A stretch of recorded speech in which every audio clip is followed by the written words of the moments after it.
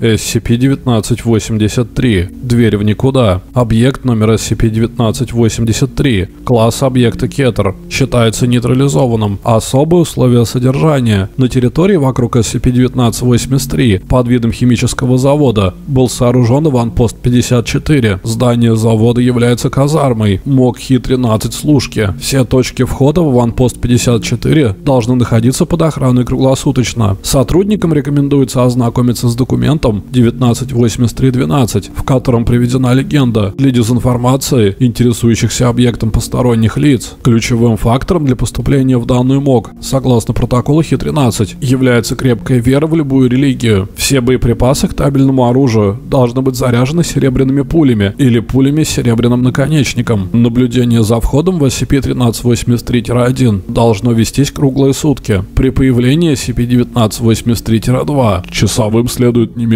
вступить с ними в бой. За исключением плановых экспериментов, приближение к SCP-1983-1 ближе чем на 5 метров категорически запрещено. Дополнение. В свете события 1983-23 было дано одобрение на вывод вооруженных сил организации с ванпоста 54. На объекте остается минимально необходимое для наблюдения за SCP-1983 число сотрудников. Оружие для борьбы с SCP-1983-2 по-прежнему хранится на складе ванпоста 54. Описание. SCP-1983-1 – это одноэтажный деревенский дом в округе Вайоминг. Дом был заброшен в 1968 году после серии ритуальных убийств, которые по некоторым данным были делом некоего культа сатанистов. Подробности смотрите в протоколе поимки SCP за входной дверью в SCP-1983-1 при ее открытии видна пространственная аномалия. Из двери не выходит ни свет, ни материя, за исключением отдельных особей-2. При этом аномалия экзотермична. Попасть в SCP-1983-1 можно также другими способами, в том числе через окна, черный ход и отверстия, прорезанные в стенах. Однако прихожей внутри дома, судя по всему, не существует. Двери, ведущие в прихожую, вместо этого ведут в другие дверные проемы того же дома дома. Обмеры стен дома снаружи и изнутри дают разные результаты. При высверливании отверстий через внутренние стены дома в прихожую, отверстия вместо этого появляются на соответствующих стенах фасада дома. Попытки высверлить отверстие, ведущее в прихожую, в наружной стене дома, также выводили на аномалию, хотя через эти отверстия SCP-1983-2 не выходили. В дальнейшем на попытке пробиться через стену был наложен запрет у 503, поскольку вероятность появления Тира-2 могла возрасти. SCP SCP-1983-2 – это двуногие создания, ростом приблизительно 1.8 метра. Форма этих созданий относительно гуманоидная, окрас исключительно черный. Уровень агрессии Тира-2 чрезвычайно высок. Эти существа нападают на любого человека, которого видят. Затем они неизвестным образом извлекают его сердце из груди, что приводит к смерти человека. Заполучив сердце, особь SCP-1983 возвращается в Тира-1. Единственный известный способ убийства Тира-2 – стрельба серебряными пулями, одновременно с вознесением молитвы. Текст молитвы и исповедуемое стрелком религии не имеют значения. Важна лишь искренность его веры. Тела убитых Тира-2 испаряются, оставляя на земле тонкий слой серы. SCP-1983 был обнаружен при расследовании серии загадочных смертей в этом районе округа.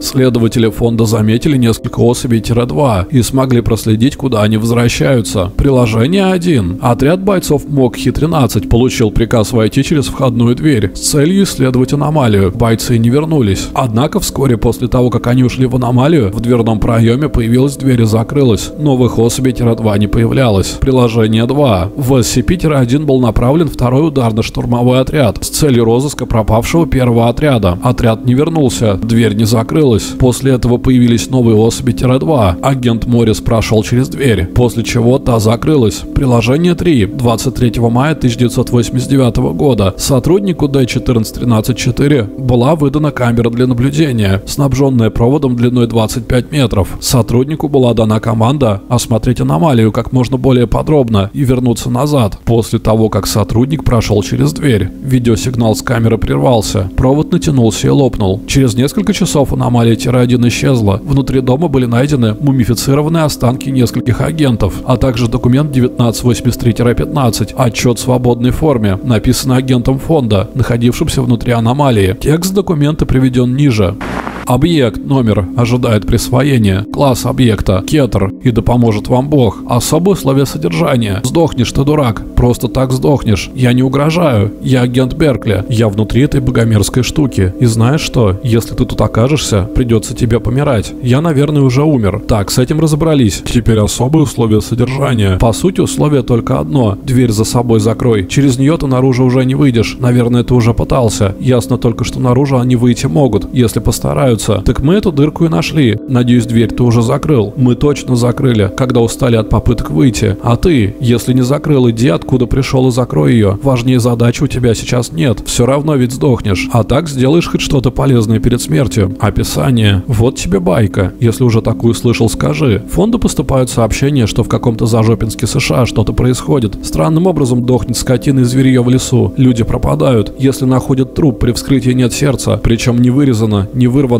Просто его нет. Пустое место в центре груди. Потом находят эти черные штуки, которые мотаются туда-сюда. Находится в фонде умник, который раньше что-то такое видел и понимает, как их убивать. Серебряными пулями при стрельбе молиться надо. В буквальном смысле. Непонятно почему, но это работает. Неважно, какому богу молишься, но молись лучше от души. А я больше не могу. После того, как увидел гнездо, не могу. В общем, тут до фонда доходит, откуда что берется. Какой-то дом в Зажопинске. Столько лет уже стоит пустой. После того, как лялята, поля, убийства, культы, ритуалы, вся херня. Дело только в том, что эти твари лезут из входной двери. Туда идет отряд, но никто не выходит назад. Зато и монстры тоже не выходят. Нормальный человек бы сказал, ладно, смотрите за дверью. Если что-то полезет, убивайте. Но нет, у нас же тут фонд. Ты крутой агент из МОК за сколько. Может, исследуй за нами. Может, из служек, как и я. Открываешь дверь ногой и бегом внутрь. И все, ты попал. В гостиной ужасов хватало. Там у Брейна исцапали. Они потянулись. Он вдруг сложился пополам, а один из них дернул прочь с его сердцем в когтях, наверное. Здесь они не такие четкие. Ты, наверное, это уже понял. Они как тени. Держись подальше от света. Понимаю, звучит глупо, но сам подумай. На свету тени четче. У них есть очертания, а в темноте они расплывчатые. Едва могут тебя коснуться и плоховато видят. Наверное, они по твоей тени тебя засекают. Не знаю точно. Если честно, я сейчас вообще гадаю, как гадалка. Наверное, ты уже пробовал выйти через дверь. Но если не пробовал, не надо. За ней еще хуже. Монстров нет.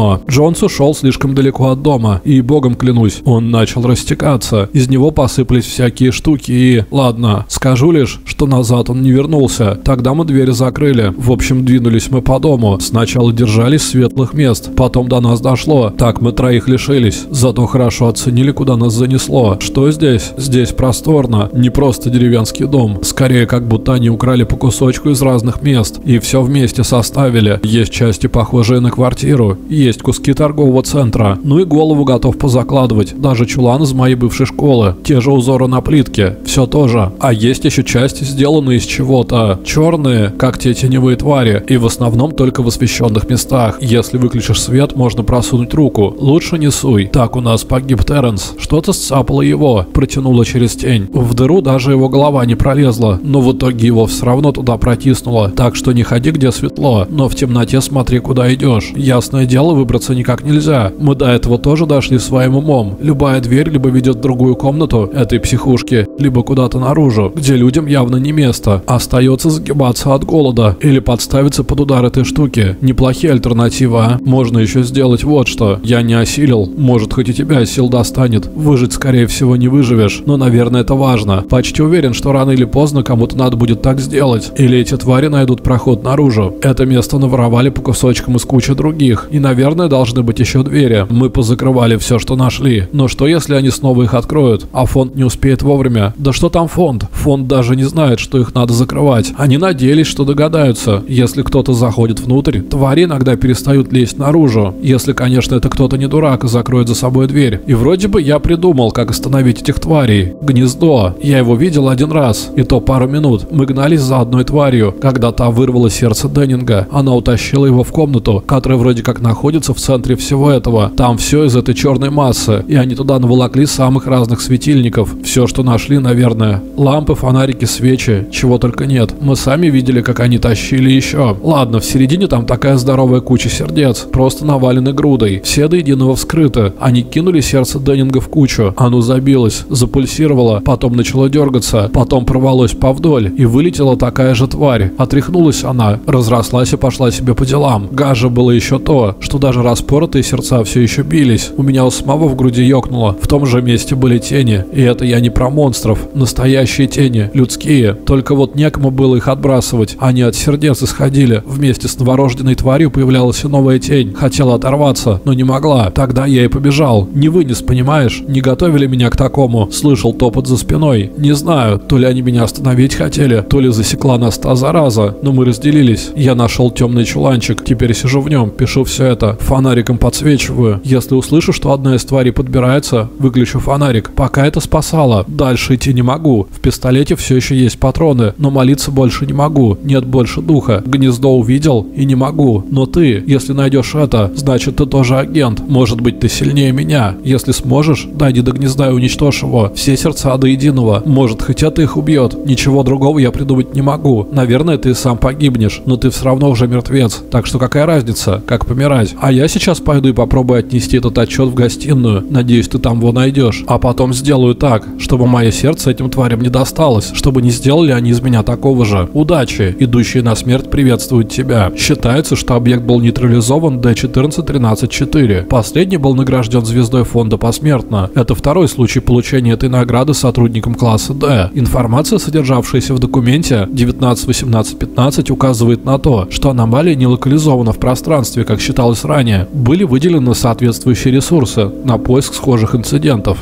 Мистер Паркер. Не смотрите удивленно. Вы знали, что этот день придет рано или поздно. Один из ваших приятелей и коллег был так добр, что впустил меня. Они нас не потревожат. Так что, пожалуйста, сядьте. Давайте-ка убедимся, что у меня все правильно. Джексон Паркер, 55 лет. Родился в центре Детройта. Несколько раз был во Вьетнаме. Приговорен к смерти за убийство офицера полиции. Дата казни 19 мая 1979. Теперь высококлассный официант в одном из лучших ресторанов Нью-Йорка. И кто-то когда-то вам говорил, что вы похожи на Эрди Хадсона. Ну, знаете, черного из охотников за привидениями. Может, я подумал о нем, потому что в ближайшие недели выйдет сиквел. Неважно, забудьте. Одна вещь, которую они не занесли в свои документы, это ваша непоколебимая вера. Вы верите так, как мало кто может, в то, что происходящее имеет смысл. Я бы, может бы, верил в то же самое, если бы был тем редким Д-классом, что избежал устранения. Имею сообщить, что вы определенно заслужили ту маленькую простую жизнь, что вы тут себе устроили. Я видел записи и фото после этого события. Я не знаю, смогли ли вы сами себе объяснить все, что произошло там. Но мы узнали, что тварь, что вы списали, была чувствительна к верованиям тех, кто ее наблюдал. Похоже, один из наших парней умудрился убедить ее, что она собирается всех убить, потому что он так подумал, и она так делала, пока не появились вы, конечно. Я знаю, что ваш опрос перед уходом произошел довольно давно, так что, чтобы освежить вашу память, то, как вы описали способ, которым вы справились, это нашел опору в своей вере. Перед лицом этого залитого крови чудовища вы продемонстрировали непоколебимость непоколебимую веру в то, что вам удастся выбраться живым. По той причине, что вы в это поверили, это стало правдой. Слушайте, мне жаль, что все это произошло с вами. Мы были такими бездушными. Черт, да это все было почти безумием. А ведь это могла быть, а могла и не быть, такая штука, которая убивает тебя, если ты моргаешь с ней, находясь в одной комнате. А еще, насколько я знаю, эта хрень срет повсюду вокруг. Почти каждый раз, когда мы посылаем парней все это чистить, хрусь, их жизнь окончена. Прямо вот так. Мы только недавно, пару лет назад, построили